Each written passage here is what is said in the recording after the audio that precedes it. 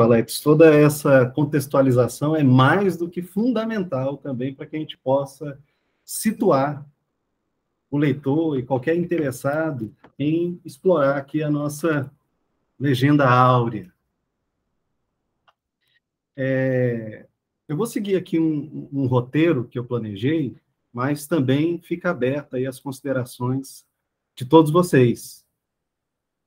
É, primeiramente, devemos passar um pouco pela figura do autor, Jacopo de Varazze. É um frade italiano da ordem dos dominicanos.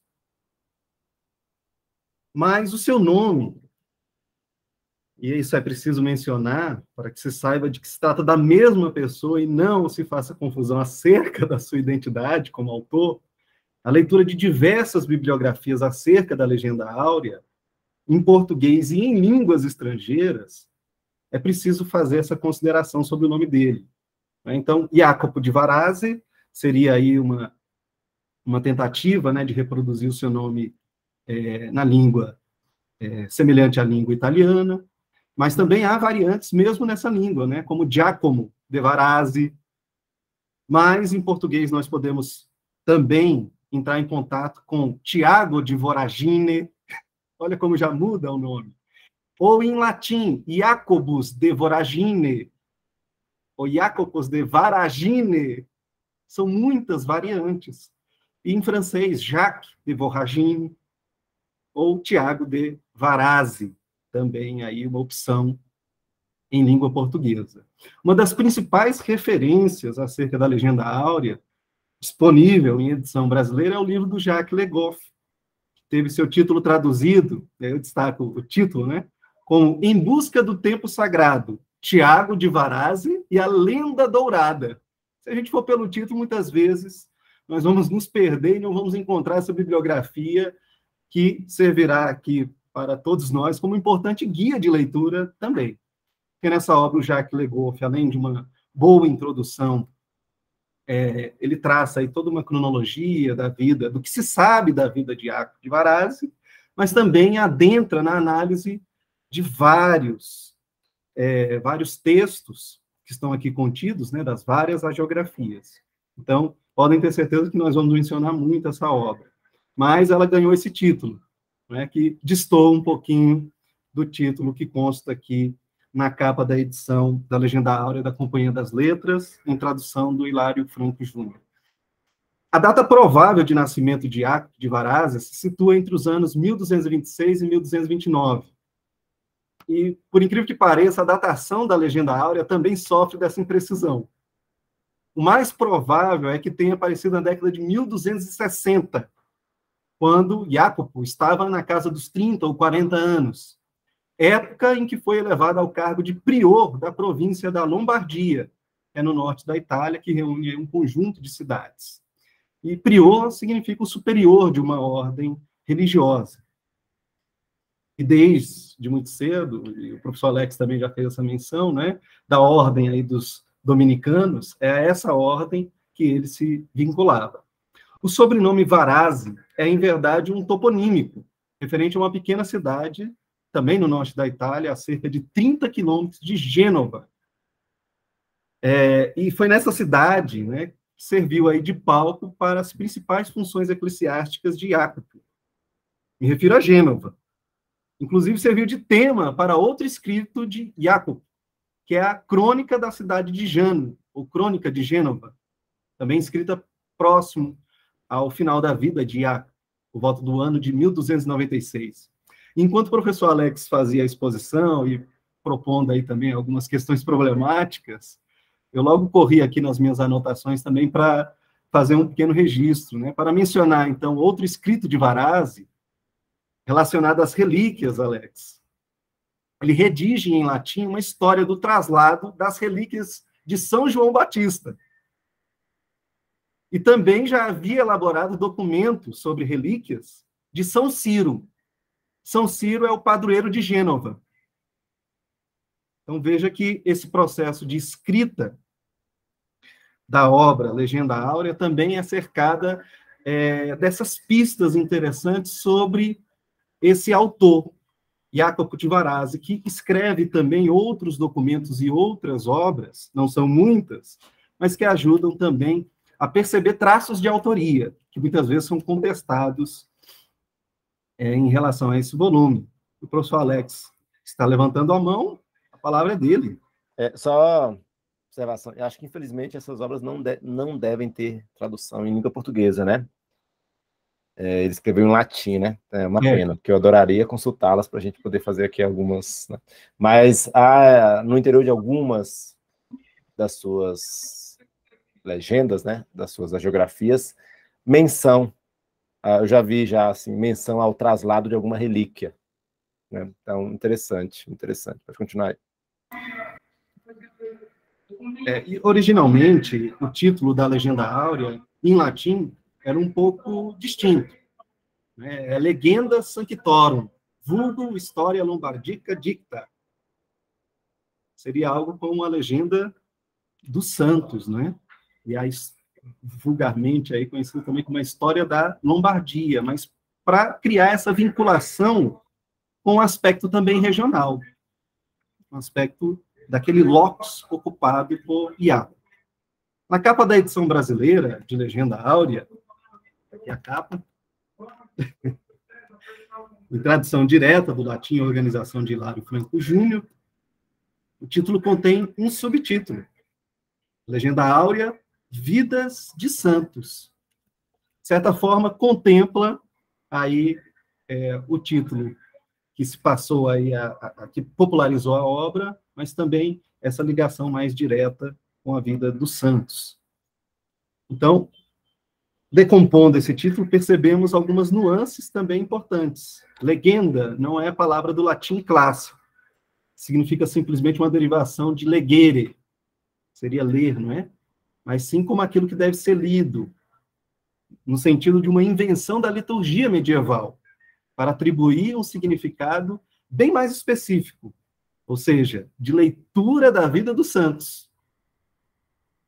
Portanto, converter legenda ou legenda para lenda, em português, é algo bastante problemático, para não utilizar um outro predicativo aqui.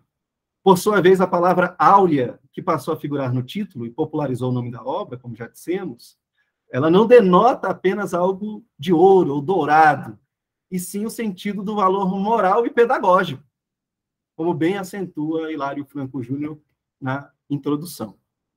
Ao folhear a edição brasileira, da Legenda Áurea, observa-se uma estrutura um tanto quanto peculiar da disposição de toda essa matéria, de coletânea de agiografias, que respeita a sequência de festas do calendário litúrgico, também mencionado pelo professor Alex, quando ele estava é, explanando a respeito até do saltério, né? Achei interessante a gente criar essa vinculação, né? O saltério, marcando ali as horas, o ciclo do dia, e uma obra como essa, uma geografia que pensa ou que recobre aí o ciclo de um ano completo. E ele, então, não segue uma ordem alfabética. Então, muitas vezes a gente se perde aqui dentro do volume. Então, numa primeira incursão pela obra, o leitor observa que as agiografias se sucedem numa profusão pouco compreensível. Daí a importância para nós, iniciantes na leitura e no estudo da Legenda Áurea, em ter em mãos um volume com índices alfabéticos, como é o caso, para facilitar a localização dos santos, assim como para consulta de outros que sejam do nosso interesse, do interesse de cada leitor, de cada pesquisador. E é preciso, inclusive, ter em mente que o volume se compõe de 175 capítulos. Então, a gente estava ali, é, inicialmente, falando sobre essa quantidade absurda de santos que adivinham ali da alta Idade Média, 25 mil santos, então, reduzir isso a 175 parece até pouco, mas não é. Né? Vejam só o volume. Que contempla, é claro, os santos do arco temporal compreendido até o século XII. Né? Muitas vezes a gente vai correr aqui para essa obra atrás de um santo que foi canonizado muito tempo depois. Podemos, assim, ler na Legenda Áurea narrativa sobre alguns santos dos primórdios do cristianismo, como Virgem Maria, Maria Madalena, é, São Pedro, São João, São Estevão, até santidades mais próximas temporalmente do diácono de Varazze, vamos dizer assim, mais contemporâneos à época de Varazze, como São Domingos, que é o fundador da Ordem dos Dominicanos, e São Francisco, aqui denominado São Francisco apenas, mas que nós conhecemos como São Francisco de Assis. Ambos, dos, ambos aí com a vida entre o século XII e o século XIII. Hilário Franco Júnior chama atenção para o fato de que no século XIII houve a composição de sumas, né, grandes sínteses, em diferentes campos do saber, tais como a teológica, de Tomás de Aquino, a escolástica, a poética, aí talvez vocês mesmos já saibam responder, que é Dante Alighieri, com a Divina Comédia, a artística das próprias catedrais góticas, e a geográfica. E aí, em relação à geográfica, ele sublinha a presença da legenda áurea, como essa suma a geográfica. Outro aspecto a ser anotado é que os santos podem se desdobrar em mais de um capítulo. Então não se surpreendam com isso. Mas há variações. A Virgem Maria é explorada em três capítulos. É a Virgem Maria Assunção, é a Virgem Maria Natividade e a Virgem Maria da Purificação. Outros casos, por exemplo, de João Batista, a decapitação de João Batista, um episódio bastante conhecido explorado historicamente, e João Batista Natividade. Além disso, Estevão Marte, mas também tem Estevão Marte, a descoberta do corpo, é a relíquia. Relíquia também está aí de novo, aparecendo para a gente. Sendo assim, os 175 capítulos não correspondem necessariamente a 175 santos. Reúnem 154 santidades. Depois eu vou re recontar, para saber se bate mesmo esse número. Sabe-se, inclusive, que a obra teria sofrido vários acréscimos ao longo dos séculos, chegando a mais de 448 capítulos. Imagine aí quantas inserções foram feitas é um número também fornecido pelo Hilário Franco na introdução. Alex, com a palavra. Só observar também que há, em alguns casos, capítulos que tratam de dois santos. Né? São alguns poucos, né? Mas é, aparece a figura de dois santos no capítulo. Né? Geralmente uma, é, você tem uma figura que é subordinada a outra, né? É, tem algum papel em relação a outra. Tem um que eu estava lendo que era a mãe do, figura, né? Então, assim, foi uma... Aí a mãe aparece, fala muito pouco sobre ela, né? Mas alguns poucos capítulos também reportam a história de dois santos, simultaneamente. Eu vou só pedir para a gente fazer uma pequena pausa aqui para eu fechar aqui a nossa cortina, que está batendo um sol. É, vai lá. Tranquilo.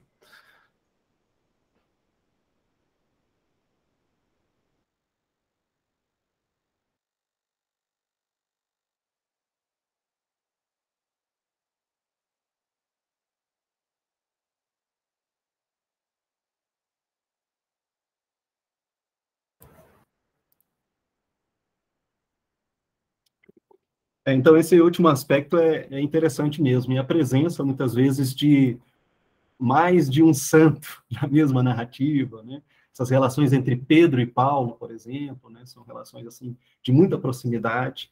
Então, é possível também beber em diferentes fontes aí para tentar formar, vamos dizer assim, um quebra-cabeça de algumas santidades que ficam ali é, espalhadas ao longo, né, da, da legenda áurea. Pode ser também um, uma interessante proposta, assim, de um exercício de leitura também, juntar essa, essas partes. É, nesse encontro inicial, assim, acho que vale mesmo para a gente essa primeira aproximação com a legenda áurea. Acho que interessaria muito pouco aqui entrar em minúcias, tanto da vida de Jacopo de Varazzi, que a gente pode fazer posteriormente, quanto da própria legenda áurea. Né? Só um encontro desse aqui seria, na verdade, algo absurdo, né? pretender né, descrever, é, destrinchar todos os atributos dessa obra. Então, nós vamos nos concentrar em alguns aspectos, às vezes aspectos apenas formais, e outros aspectos que já dizem respeito mesmo a, ao conteúdo, à estética propriamente dita dos textos. Então, um, um, algo interessante é que as geografias presentes na legenda áurea, elas variam em extensão. Ou seja, já dá para pensar assim um pouco desse modelo adotado de narrativa, se é um modelo fechado, padronizado, ou se ele se permite também certas flutuações. Então, podem se resumir, às vezes, a breve parágrafo. Se nós formos até é, a geografia de Santa Praxedes, no capítulo 91, é um parágrafo muito curto, muito curto. Mas tem também algo que pode girar em torno de uma página apenas. Ou seja, mais alguns parágrafos, como a de São Longino, ou São Longuinho, como alguns conhecem popularmente. Está lá no capítulo 47. Ou se estender a quase 20 páginas, como a de São Domingos. Parece algo curioso, mas logo São Domingos, por quê? Por causa dessa vinculação com a ordem dos dominicanos.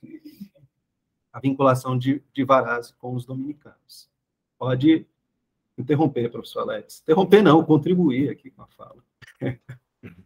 É, então, é só para rememorar né, aquilo que eu disse, porque acho que isso já informa alguma coisa sobre as escolhas do autor. Né? É, numa narrativa, aquilo que você escolhe narrar é aquilo que você privilegia. É aquilo que, de algum modo, você, como eu, como eu falei, né, você acha que é, merece a atenção, merece o gesto de ser narrado, né, e merece a, a, a, atenção da audiência.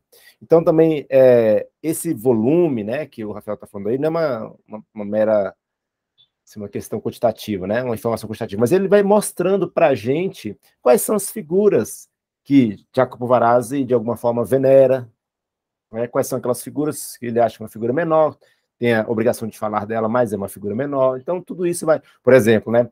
É, mesmo Paulo, Pedro, né? É, que tem que tem as geografias encorpadas, né? não tem, salvo engano, me corrija se eu estiver errado, Rafael, mais de um capítulo dedicados a ele. É. Ao passo que há para a Virgem Maria, que é uma figura feminina, lembremos. É, há poucas figuras femininas na, na, na, Legenda Áurea. Eu até fiz a contagem, cara. Eu fiz a contagem aqui, deixa eu só. É, é bom que a gente verifique se a, a, a sua contagem está correta aí. Eu contei quantos homens, quantos santos e quantas santas há. Né? É, eu contei.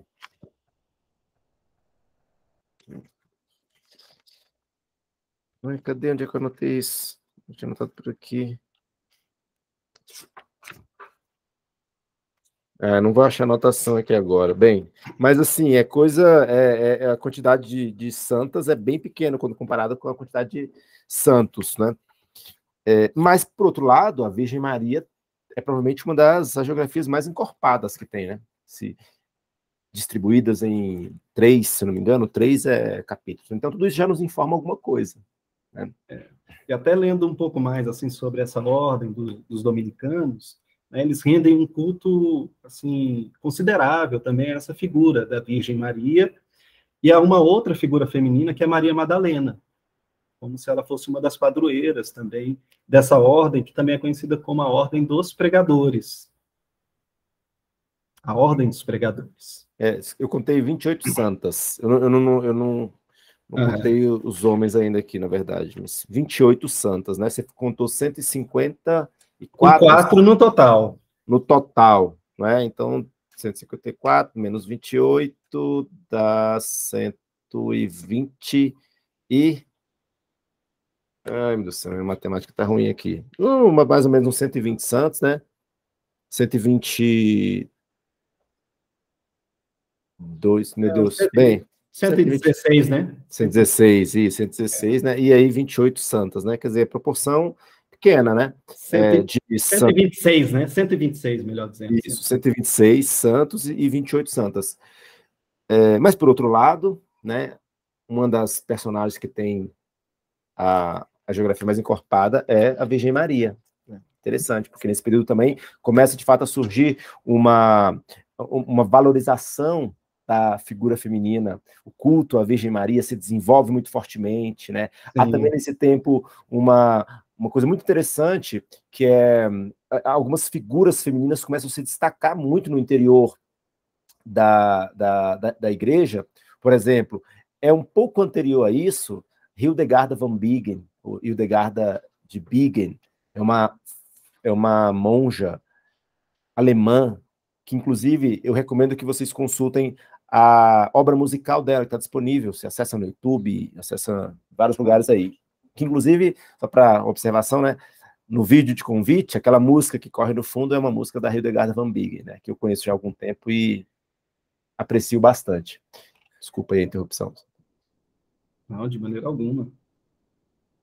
É, então, nós estávamos falando dessa ordem dos pregadores e falar dos pregadores, aqueles que professam sua fé e espalham e andam e peregrinam por aí com esse propósito, é, é preciso mesmo nos deter neste ponto, que é um aspecto essencial que diz muito a respeito aqui da legenda áurea.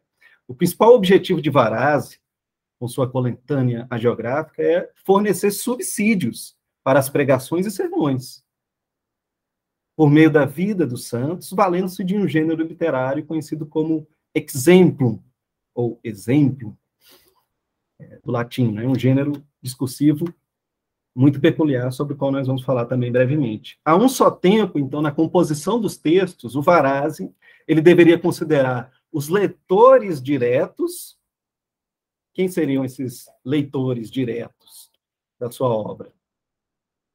seriam os próprios frades pregadores, mas igualmente o público. Por essa razão, Jacopo situa a geografia num ponto intermediário entre a cultura da elite e do vulgo. Por isso se diz que essa obra é, revela aí um pouco dessa cultura intermediária. Ainda no que diz respeito ao exemplo, importa considerar que esse gênero narrativo existe desde a antiguidade e tem como propósito difundir um relato tido como verídico para sensibilizar e convencer a audiência. Por volta dos séculos 11 e 12, é, esse gênero difunde-se nos meios urbanos para combater a indiferença religiosa e os hereges, que também são dois propósitos da própria ordem dos pregadores, a ordem dos dominicanos. Então, os exempla aí é o, o plural né, de exemplo, eram recolhidos de fontes diversas. Vejam só, fontes eruditas, textos apócrifos, tradições orais e, em menor proporção, da própria experiência pessoal do autor. É um aspecto interessante, utilizado com muita frequência por Varazzi, é o uso da etimologia, para vincular o nome à vida e às características do santo, da santidade. Esse esforço etimológico é uma conjunção de atividade intelectual e mística, Alex, você que gosta. Mas na metade dos capítulos inicia-se com um parágrafo etimológico, tal como a de São Domingos, e nós escolhemos também é, reproduzir aí no, no slide, na tela, só um trechinho muito breve né, a respeito de São Domingos. Começa assim a geografia. Domingos quer dizer guardião do Senhor, ou guardado pelo Senhor, de acordo com a etimologia do nome. Pois domínicos, domingos, vem de dominus, é o Senhor. E por aí ele segue para criar também uma vinculação desde já com o próprio caráter da predestinação da santidade para a sua missão, para esse caráter de missionário. Ou seja, desde o nome, ele já está predestinado a esses grandes feitos. Outro aspecto maravilhoso ou fantástico é a presença constante, nas mais diversas variantes desses termos, dentro dessas narrativas. E talvez aí seja o fio literário que muitas vezes nós vamos puxar para tratar mesmo de como certos episódios, certos eventos são construídos de forma literária, retórica, com o intuito mesmo de sensibilizar o público. E ainda considerando São Domingos, aí é o próximo, próxima tela, Alex. Vejam só um episódio da vida de São Domingos. Domingos estava em Roma, orando na igreja de São Pedro, sim, a Basílica de São Pedro, lá no Vaticano, pela expansão de sua ordem, quando foram até ele os gloriosos príncipes dos apóstolos. Quem são esses príncipes? Pedro e Paulo. Mas é bom dizer, Domingos estava vivo. É um fato que está acontecendo aí, uma visão, né? uma experiência espiritual. O primeiro dos quais entregou um báculo, seria um bastão, um cajado usado por bispos, e o outro um livro, dizendo: vá, pregue, porque você foi escolhido por Deus para este ministério. Então, são comuns nas agiografias do, de Varazzi, especialmente as de grandes santos, como São Pedro e São Paulo, essas visões e encontros espirituais e alçam as santidades a outro patamar, vejamos bem, quando são prestigiados por visitas ilustres, como a do Cristo ou da Virgem Maria. E nesse caso de São Domingos, também são ilustres visitantes espirituais, Pedro e Paulo. Olha só, a afinidade de São Domingos com essas personalidades. Então, o que, que ele pretende com essa, essa construção discursiva? fica aí uma interrogação para a gente pensar mais à frente também, quando a gente for trabalhar é, sobre essas figuras ou até mesmo sobre a figura de São Domingos. É mais... Desculpa, para adicionar então aí um, né, matéria, né? Lembrar que há precedentes né, na literatura e na literatura religiosa da visita de uma divindade, ou de alguma. De um anjo, né? De um, de um anjo. anjo, exatamente. Está justamente, por exemplo, lembremos, por exemplo, do nascimento de Jesus Cristo. Antes disso, Maria é visitada por um anjo. Então, é, note aí né, as, assim, as reminiscências de certas formas canônicas, né, de certos é, enredos e motivos canônicos. Né? Então, outro aspecto do maravilhoso pode vir estampado no insólito, no miraculoso ou em dons sobrenaturais. É, ainda na vida de São Domingos, aparece o seguinte episódio. Aí é a próxima tela, Alex. É, a cripta da igreja de São Sisto desabou e soterrou, deixando sem vida o arquiteto ali levado pelos frades. Mas o escravo de Deus, Domingos, mandou tirar o corpo do subterrâneo e levá-lo até ele, que orou e graça a seus méritos logo lhe restitui ao mesmo tempo a vida e a saúde. Bom, é, é, esse talvez seja um dos episódios mais recorrentes aí na vida de grandes santos que estão narrados na Legenda Áurea, né? Essa, esse dom de, de ressuscitar os mortos. É, e dentro desse aspecto inerente aí ao maravilhoso, na verdade, nós podemos conectar imediatamente o simbólico, né? o simbolismo da cosmovisão medieval, com demônios, dragões, sinal da cruz, sonhos, bestiário, atravessam de igual modo as narrativas. É, mais uma vez, aí, considerando a geografia de São Domingos, vejam só, a primeira, é, a primeira, esse primeiro fragmento que nós vamos destacar, que é a próxima tela, Alex,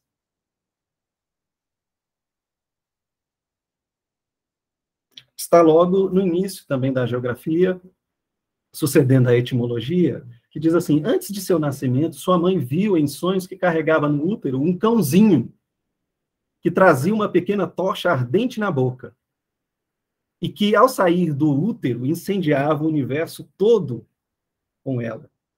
Então, há nesse simbólico cão uma relação direta com uma das alcunhas de Domingos, que é Dominus Canis, ou cão do Senhor para se referir à sua fidelidade e combatividade. Outro simbolismo, e agora relativo ao poderoso sinal da cruz. Certa feita, também está lá, Alex, na, na, próxima tela. É a última tela.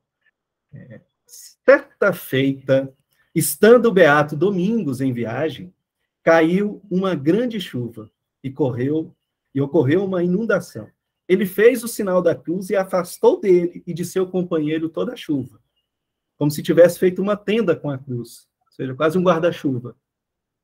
E enquanto toda a terra estava encharcada e coberta pela inundação, nenhuma gota os atingiu no espaço de três côvados, né, de um, um espaço aí, né, uma, uma, uma, referência de medida, né, que corresponderia a quase dois metros. Então vejam só aí alguns aspectos desse simbolismo que estão carregados dentro desse texto da, da legenda áurea. Então, para mais um exemplo do simbolismo, dessa vez com ares aí de bestiário, é possível anotar outro exemplo na geografia de Varazes sobre São Domingos. E agora não está na tela não, Alex, que eu peguei esse assim também hoje pela manhã, porque eu estava revendo a geografia do São Domingos e considerei assim muito interessante. Uma vez, enquanto pregava, algumas mulheres corrompidas pelos hereges jogaram-se a seus pés e disseram: Escravo de Deus, ajude-nos. Se é verdade o que pregou hoje, há muito tempo o espírito de erro cegou nossas mentes. Ele, Sejam firmes e esperem um pouco que verão o Senhor ao qual aderiram.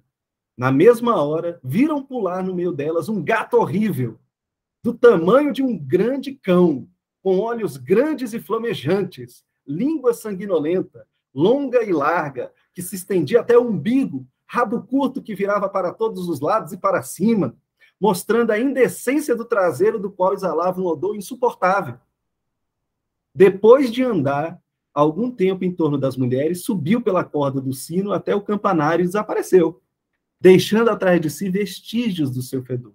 As mulheres deram graças e converteram-se à fé católica. Então, esse animal que se parece com um gato, ele se transforma né, num ser bestial. Então, por isso, nós fizemos essa referência ao simbólico como algo também que pode ser exemplificado por meio aí desse bestiário medieval. Então, outros aspectos que vamos neste momento apenas nominar e deixaremos para os encontros futuros, são a presença do belicismo, a guerra entre o bem e o mal, o contratualismo, que é o compromisso entre humanos e santos ou demônios, a dialética entre a teologia e a mitologia secular, ou o paganismo, que aí remonta, Alex, provavelmente àquela questão primordial que você lançou, que é esse, esse passo né, adiante entre a mitologia que nós estudamos ao longo de duas tertúlias, né, esse passo adiante aí no sentido dessa teologia que vai abarcar a vida dos santos.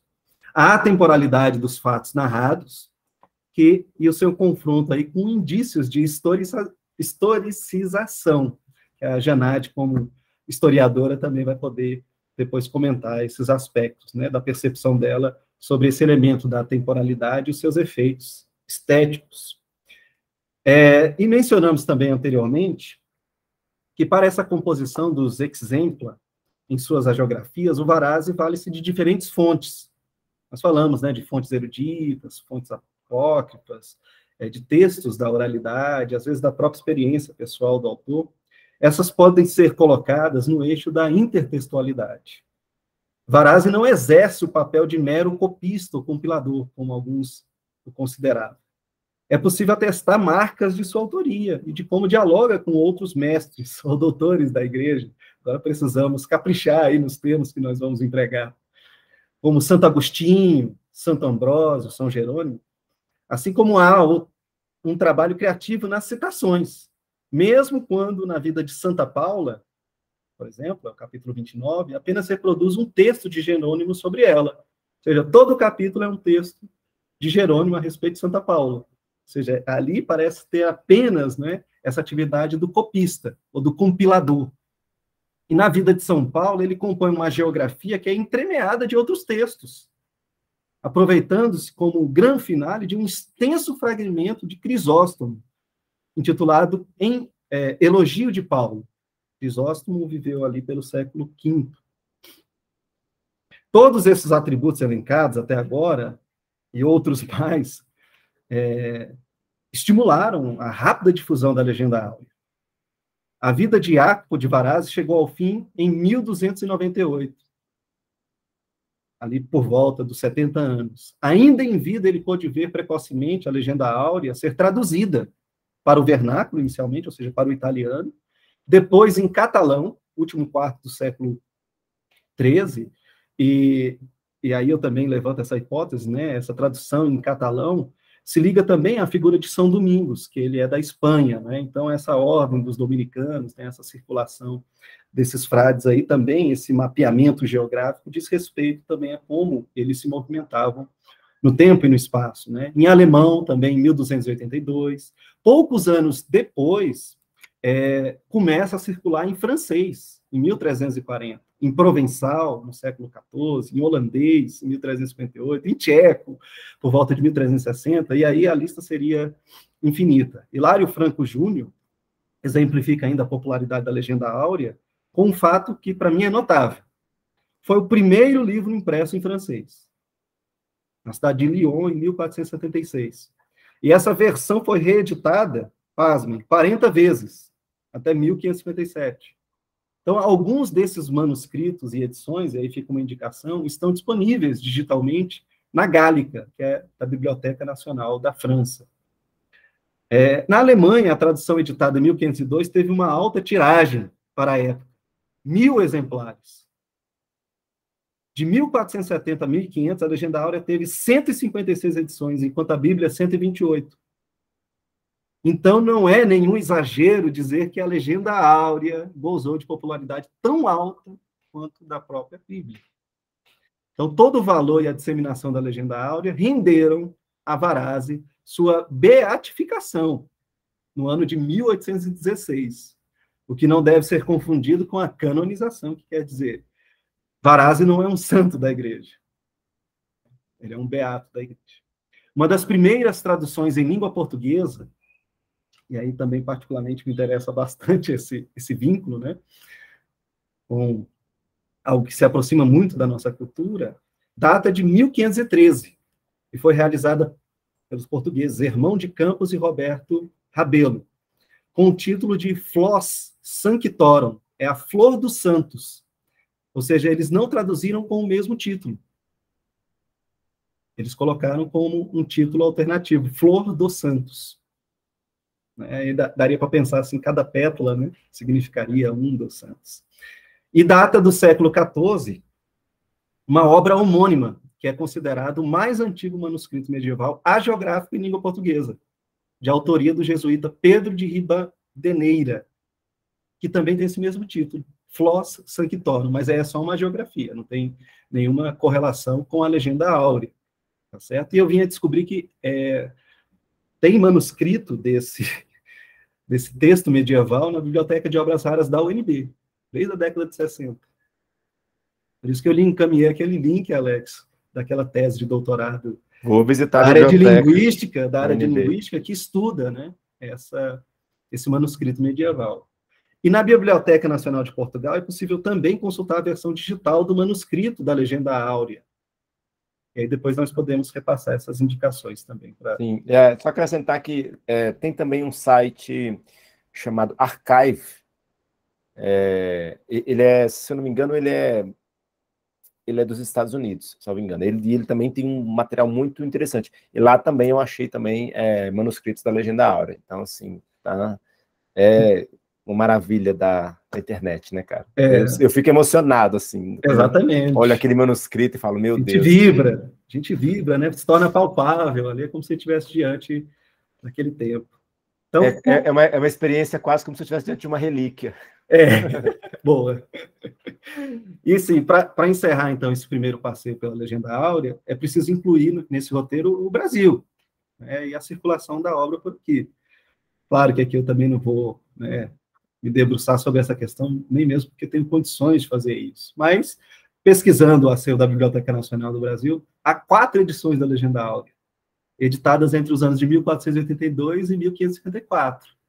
Então, é possível pensar também essa chegada aí dos jesuítas, né, de outras ordens religiosas que também por aqui circularam e que traziam também, né, na sua bagagem, parte aí da, de uma biblioteca que é, tinha aí como exemplar também a Legenda Áurea.